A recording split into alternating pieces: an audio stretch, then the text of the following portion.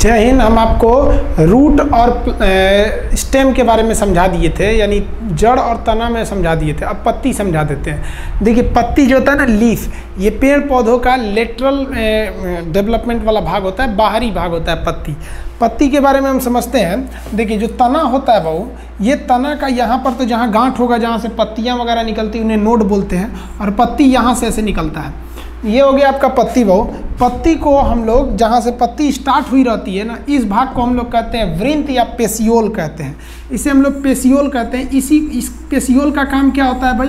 तो ये पत्ती को उठा के रखता है। किधर उठा के रखेगा? तो जिधर धूप आ रही है, उधर उठा के रखता है। तो ये हो गया आपका क्या चीज़? पेसियोल हम पी लिख देते हैं। हालाँकि आपको डिस्क्रिप्शन में इसका हम पीडीएफ दे देंगे। तो ये आपका पेसियोल ये पी हो गया। अब इसके बाद यही पेसियोल आगे जाकर पतला हो जाता है। और ये पतला होकर ना वृंत बन जा मिडरीप बन जाता है। तो हम उसको आगे समझाएँगे। और यहाँ से अब पत्ती स्टार्ट हो जाती है। तो ये हो गई भाई पत्ती आपकी।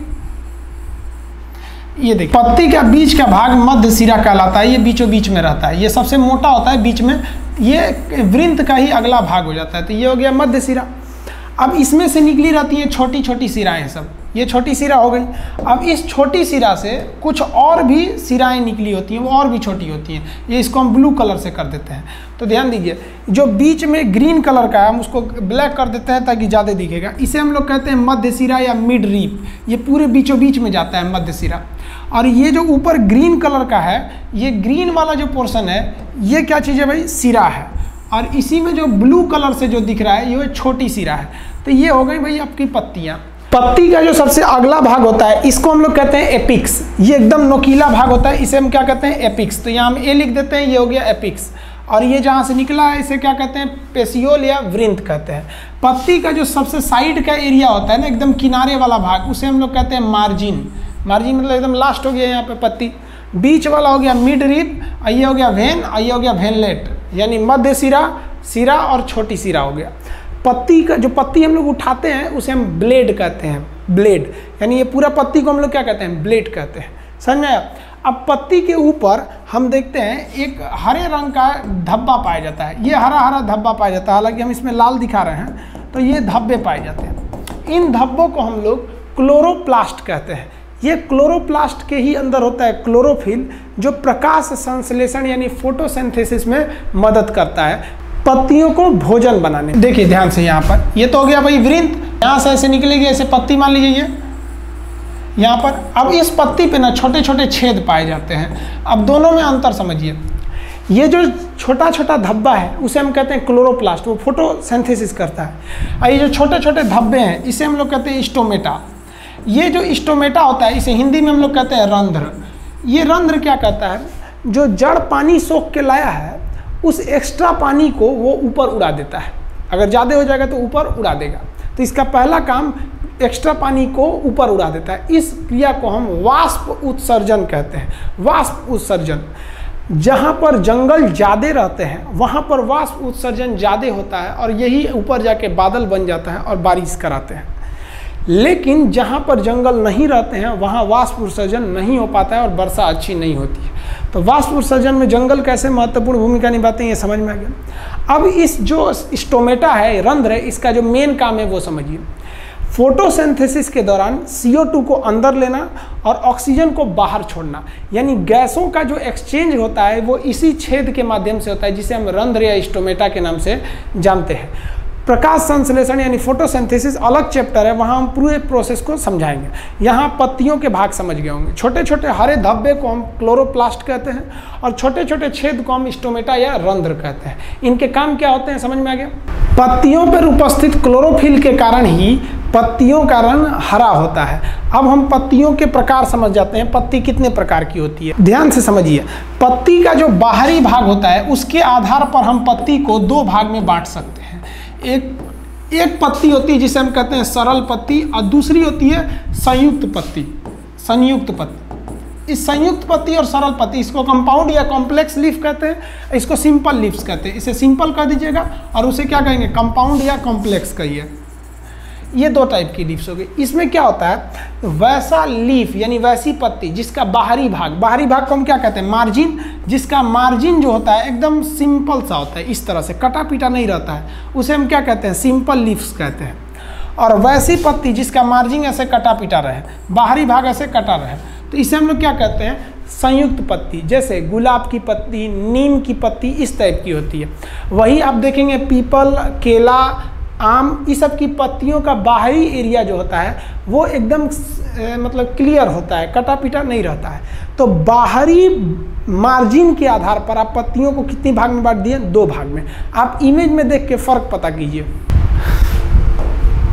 अगर आप ये इमेज देखेंगे तो ये पत्ती का जो साइड का एरिया है, ये थोड़ा थोड़ा अंदर की ओर इसे कटा कटा है। तो ये कटा होने की वजह से इसे हम क्या कहेंगे? कंपाउंड या कॉम्प्लेक्स लीफ वहीं आप इन पत्तियों को देखेंगे तो इसका बाहरी भाग एकदम क्लियर है तो इसे कौन सा लीफ कहेंगे? सिंपल लीव्स ये तो पत्तियों का विभाजन हो गया साइड के आधार पर. अब पत्तियों के अंदर जो सिराएँ होती हैं, सिरा मतलब समझते हैं ना आपको बताया था वेन ये वेन इन सिराओं के आधार पर भी पत्तियों को हम दो भाग में बांटते हैं. कितने भाग में बांटेंगे? दो भाग में। कौन कौन सा भाग? तो देखिए, सिरा के आधार पर पत्ती दो भाग में बटेगी। एक होती है एकांतर पत्ती, वैसी पत्ती जिसका जो सिरा होता है, यानी जो, देखिए, हम साइड की बात नहीं कर रहे हैं, सिरा, यानी बीच वाले सिरा, ये एकदम ऐसे लाइन से होता है। टेढ़ा मेढ़ा नहीं होता है पैरलर होता है, उसे हम क्या कहते हैं? एकांतर कहते हैं। जैसे आप केला का पत्ती देखे होंगे। अब पत्ती होती है जालिकावत। वैसी पत्ती जालिकावत कहलाती है, जिसमें जो विन भेन होते हैं, ये जो सिराएँ होती हैं, वो बहुत ज़्यादा कॉम्प्लेक्स रूप में होती है। देहात में बोलते हैं एकदम गुचुर मुचुर तो इस तरह से रहेगा गुचुर मुचुर करके तो क्या है? जाली के समान तो जालिकावत। और सीधा रहेगा तो उसे क्या कहेंगे? एकांतर। समझ आप पहले इमेज देखिए, फिर समझिए आगे। देखिए, ये जो पत्ती है, ये कैसी है? तो ये एकांतर पत्तियाँ हैं, क्योंकि इसकी जो सिराएँ हैं एकदम लाइन से ऐसे ऐसे केला का हो गया। धान, गेहूँ का भी देखिएगा तो ऐसे ही होता है, मक्का का भी सेम होता है। इसकी भी पत्तियों की जो सिराएँ होती हैं, वो लंबी लंबी होती हैं। ध्यान से समझिएगा। अब अगर ये बहुत कॉम्प्लेक्स हो जाएगा ना तो इसे हम लोग कहते हैं जालिकावत जैसे ये देखिए आम वगैरह का देखेंगे तो अंदर से एक तो, तो ये रहता ही है उससे छोटे छोटे भी निकले रहते हैं ये सब ये सब। तो जाली के समान बिखरा रहेगा तो इसे क्या कहते हैं? जाली कावत अब ये दोनों में हमको फ़ायदा क्या होगा? वैसी पत्तियाँ जिन जो लंबी होती हैं जनरली जो लंबी होती हैं, वो एकांतर रूप में होती हैं। और इनमें लगने वाले फल का जो बिया होता है, वो एक ही होता है। बिया के अंदर ना दो भाग नहीं हो सकते। जैसे आप गेहूँ देखिए, गेहूँ का छिलका हटाएँगे तो एक ही गेहूँ निकलेगा। उसको आप दो भाग में नहीं तोड़ सकते हैं, फूट जाएगा। धान देखिए, धान को खोलेंगे तो एक ही चावल निकलेगा। दो भाग में करेंगे तो टूट उट जाएगा। आप मक्का देखिए। मक्का को हटाएँगे तो उसमें जो बिया होता है, वो एक ही रहता है। मतलब लाइन से बिया के समूह रहते हैं मक्का में, लेकिन एक बिया को आप चाहेंगे दो भाग में तोड़ना तो नहीं टूट पाएगा। केला का काला काला बिया होता है छोटा सा आप दो भाग में चाहेंगे तो नहीं टूट सकता है। तो जिनकी पत्तियाँ लंबी होती है ना, उनका बिया अकेले ही रहता है, दो भाग में नहीं टूटता है। तो ये एकांतर पत्तियों की विशेषता है। दूसरा, ये जो जालिकावत होती हैं इनकी पत्तियाँ छोटी होती हैं। साइज़ में कैसी होंगी तो भैया ये साइज़ में बहुत छोटी पत्तियाँ होती हैं और जाली कावत होती हैं। अब इनका जो बीज होता है, इनके बीज को अगर खोलिएगा तो वो दो भाग में बढ़ जाएगा। जैसे आम। आम को खा के आप गुठली जो होता है, गुठली को फोड़िएगा तो गुठली का जो कड़ा वाला भाग है, वो बाहर और उसके अंदर सॉफ्ट टाइप की एक गुठली होगी, जो दो भाग में बढ़ जाएगी। देहात में उसके बीच में नीम का पत्ती डाल के पिपीड़ी बजाता है। तो जो छोटी पत्तियाँ होती है, उसका बिया दो भाग में बढ़ जाता है। आप और एग्ज़ाम्पल देखेंगे, जामुन देखिए। जामुन की पत्ती छोटी होती है, उस जामुन को खा लीजिएगा। उसके बाद उसका जो बिया होगा, उसको ईंटा से फोड़िएगा उसके अंदर दो ठो भाग निकलेगा। तो वो दुई बीज पत्री हो जाते हैं। आप चना देखिएगा, चना की पत्ती छोटी होती है और ऐसे ही उसकी पत्तियों पे जाली का अवत होता है। चना भिगाइएगा, उसका छिलका हटाइएगा तो दो ठो दाल निकल जाएगा। जबकि धान को भिगा के निकालिएगा तो दो ठो चावल थोड़ी निकलेगा, एक ही निकलता है, जबकि उसका दाल दो भाग में बढ़ जाता है, मूंगफली दो भाग में बढ़ जाता है। तो जिसका बिया का अंदर वाला भाग दो भाग में बढ़ जाए, उसे कहते हैं दुई बीज पत्री और जिसके बिया का अंदर वाला भाग केवल एक ही रहे, उसे कहते हैं एक बीज पत्री जैसे धान खोलेंगे तो बिया निकलेगा, जो इसे हम चावल कहेंगे। तो वो क्या हो गया भाई? एक बीज पत्री। गेहूँ, एक बीज पत्री जितनी लंबी पत्तियाँ वाले होते हैं, लंबी पत्ती वाले एक बीज पत्री, और जो छोटे और जालिकावत होते हैं, वो दुई बीज पत्री। पत्तियों का आप विभाजन देखें कि अगर पत्ती का बाहरी भाग कटा पीटा नहीं है तो इसे हम कहते हैं सिंपल लीफ और अगर बाहरी भाग कटा पटा है इसे तो इसे हम लोग कहते हैं कंपाउंड लीफ तो ये यहाँ हम समझा दिए। अब हम आपको सिरा विन्यास भी बताए थे कि अगर पत्ती एकदम सीधा है इसका सिरा विन्यास तो इसे क्या कहेंगे? एकांतर। और पत्ती अगर छोटी है और उसका सिरा विन्यास ऐसे जाली के समान निकला हुआ है तो इसे हम क्या कहते हैं? जालिकावत। ये दो बीज पत्री होता है और ये कैसा होता है? एक बीज पत्री अब हम लोग देखते हैं रूपांतर। पत्तियों का रूपांतर। पत्तियों का रूपांतर कैसे हो जाता है? जिन पत्तियों में पानी की कमी हो जाती है उनकी पत्तियाँ कांटे का रूप ले लेती हैं। तो यानी पत्ती का रूप बदल गया हल्का सा बदला तो उसे कहते हैं रूपांतरित पत्ती मोडिफाइड तो पा, पानी की कमी कहाँ होती है? रेगिस्तान में। तो ऐसे पत्तियों को हम क्या कहते हैं? जीरोफाइटिक जीरोफाइटिक जैसे आप कैक्टस देखे होंगे। कैक्टस आप देखेंगे? जैसे ये कैक्टस है ये भी पत्तियों का रूपांतर है।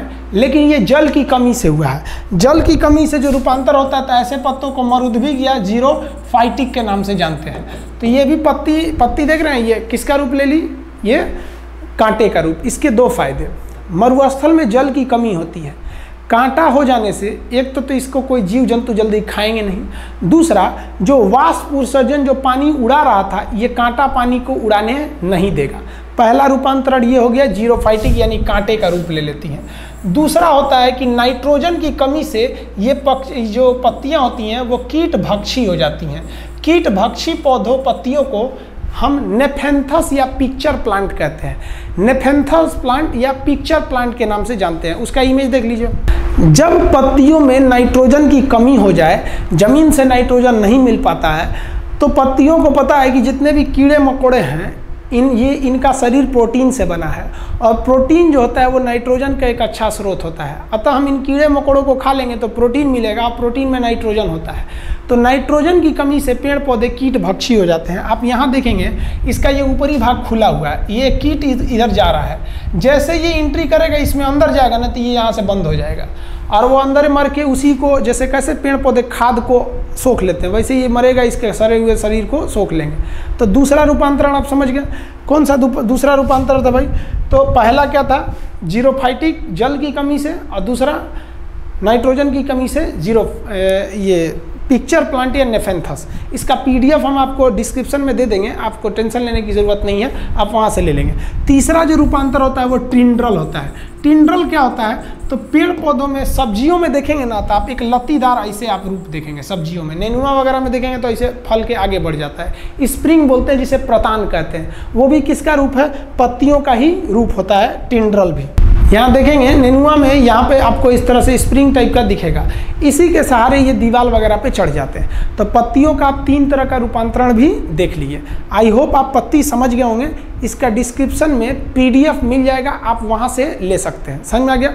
नेक्स्ट वीडियो में हम आपको फूल के बारे में ए टू जेड चीज़ बता देंगे। फ्लावर क्या होता है? जय हिंद।